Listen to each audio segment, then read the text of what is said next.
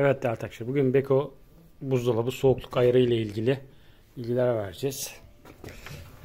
Şimdi bakın şurada bak ok bir işaretimiz var. Burada da derece işaretimiz var. Şimdi 2 derece dediği en düşük burada 1'dir. Yani bunu 1'e getirirseniz şurası 2 olan yer 1 olursa en düşüktür. Bir de onun yanında bakın tatil modu var. Yazın bunu mesela çok kullanmayacaksınız. Bunu yazın kullanmanız lazım tatil modunu. Onun dışında kesinlikle normal kullanımda şu tatil modunu kullanmamanız lazım. Bilginiz olsun şu an 2'de. E, bir en düşük derecedir. Bir de eksi 18 derece soğutur.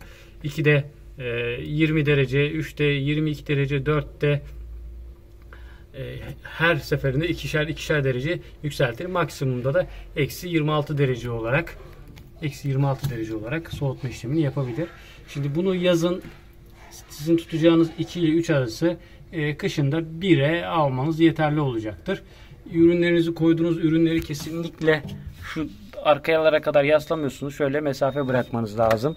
Bilginiz olsun. Çok fazla yaslarsanız çünkü e, bu sefer koyduğunuz yiyecekleri dondurur.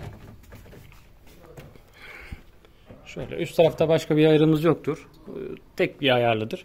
Bu şekilde e, buzdolabınızın ayarını, Beko buzdolabınızın ayarını yapabilirsiniz. Ee, dediğim şeylere dikkat edin. Aynı şekilde üstteki hava kanallarına da burada koyduğunuz ürünü şöyle sonuna kadar yaslamayın. Şöyle mesafe bırakın. Mesafe bırakın içerideki hava sirkülasyonu olsun. Videomuzu beğenerek daha çok kullanıcı ulaşmasını sağlayabilirsiniz. Biz takip etmeye devam edin.